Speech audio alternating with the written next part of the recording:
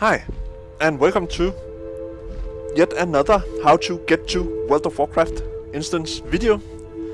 Today we will take a look at Gundrak uh, and how you will find the entrance there. I have flown to Gundrak. I can move a bit so I can show you.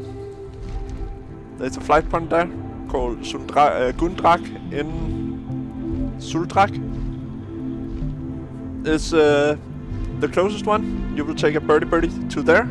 It's in Zul'Drak, of course. Um, let's go find ourselves a meeting stone from the flight point, which is there, looking at it. You will fly this way.